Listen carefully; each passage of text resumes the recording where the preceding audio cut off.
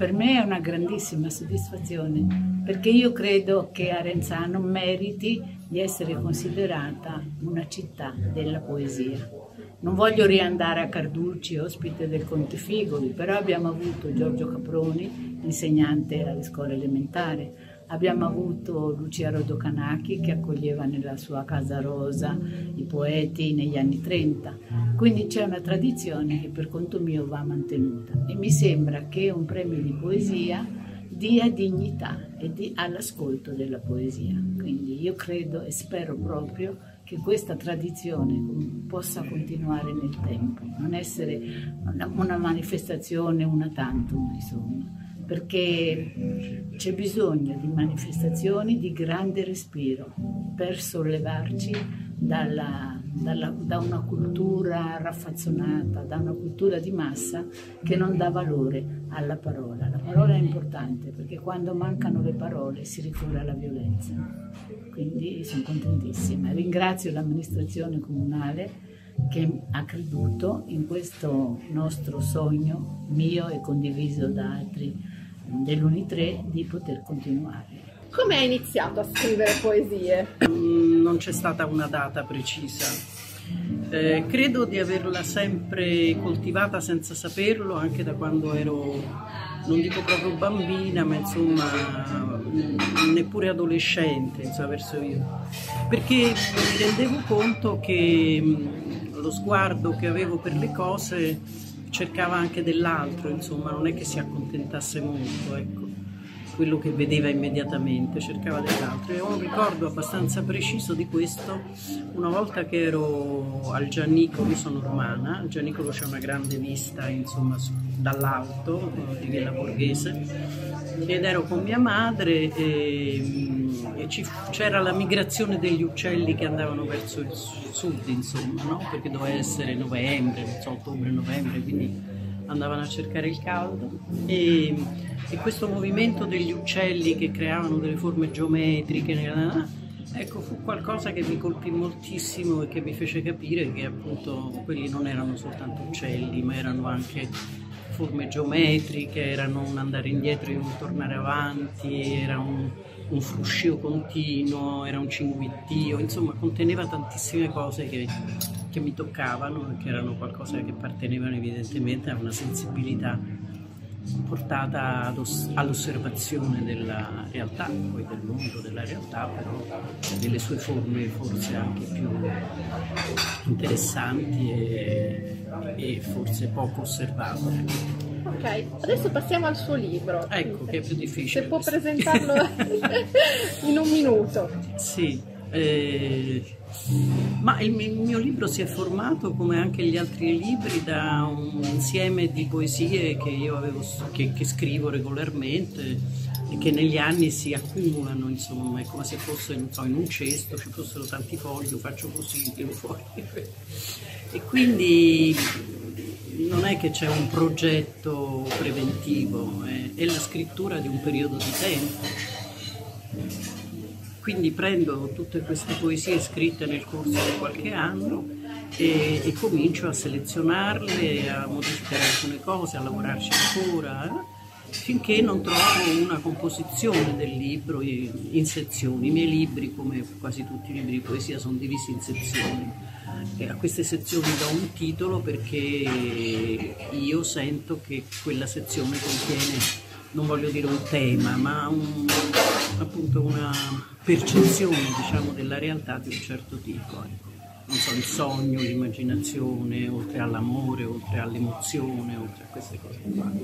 E poi suddivido il libro appunto in queste sezioni e, poi si compone un po', insomma ci vuole tempo. È un bel lavoro comunque quella della composizione del libro. Come è nata la sua passione per la poesia? Come ha iniziato a scrivere? Ah, eh, siccome ho una certa età, eh, diciamo è una cosa che si perde un po' negli anni, ma ho cominciato eh, non con la poesia, ma con la narrativa quando ero giovane, molto giovane, da sui 18 anni. E, e ho cominciato anche con un mio amico fotografo che eh, abbiamo creato dei libri di fotografia e di narrativa su, raccontando un po' la nostra città, cioè la mia città che è Fano nelle Marche.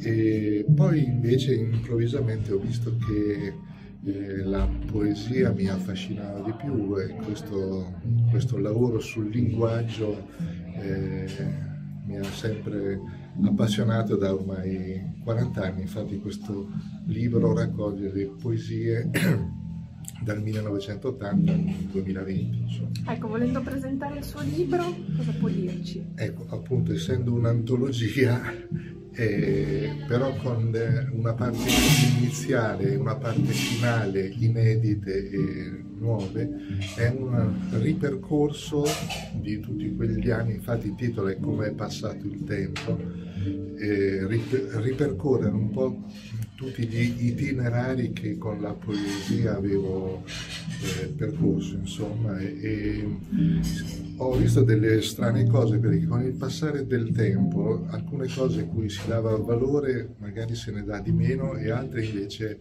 acquistano valore, per cui eh, è stato un po' ricomporre parte della propria vita.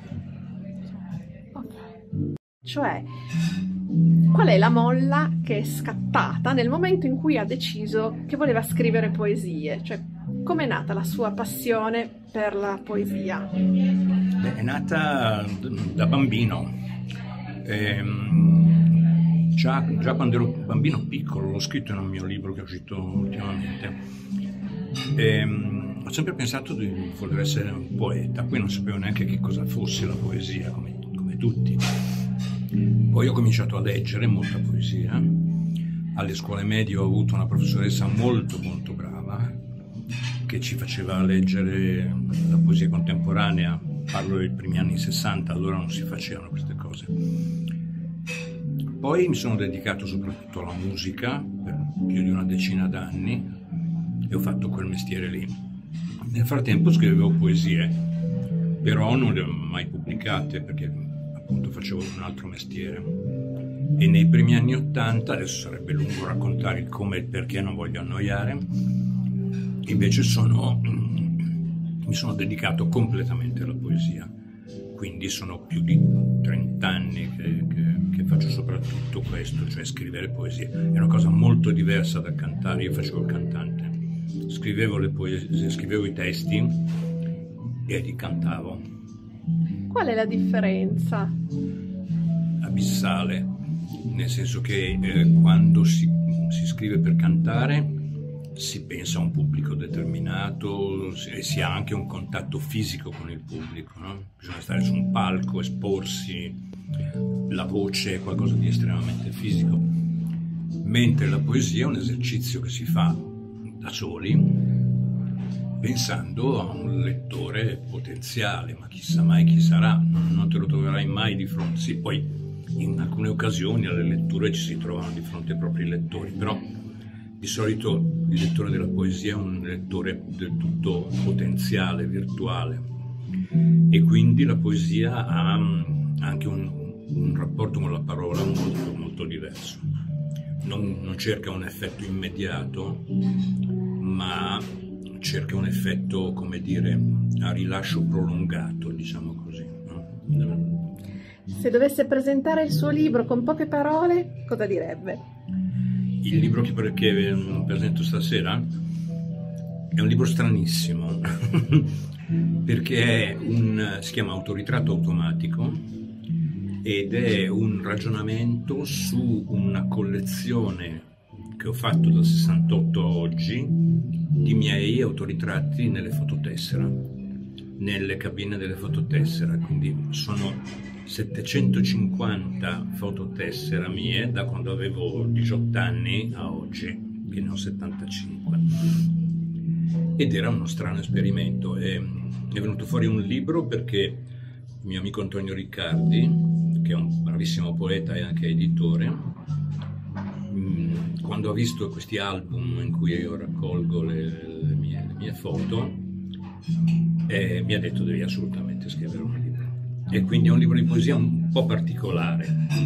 Infatti nella copertina ci sono queste foto di me da giovane, ahimè. e, e, poi però le, le, poesie non sono una didascalia, ma sono un ragionamento su, sulla faccia. Infatti tutta la prima sezione si chiama Verso la faccia. E quello è, è l'oggetto della ricerca è la faccia, la fisionomia, che cambia continuamente nel corso degli anni.